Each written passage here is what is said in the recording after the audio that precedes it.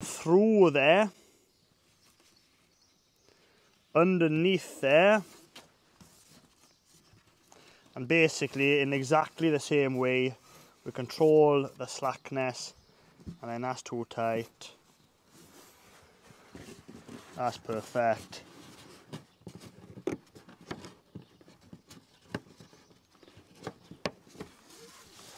And then that's it.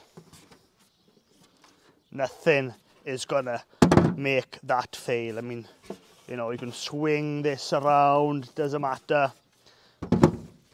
That is solid. So that's the only difference really. We're just using we're using the, same lever system, but just in a slightly different way. Uh, this strap is strong enough to do it, and we've got that rubber grommet adding rubber friction on whichever way you want to do it. Now we've got lots of slack. The best thing to do with the slack, if you're super tidy and you want to keep everything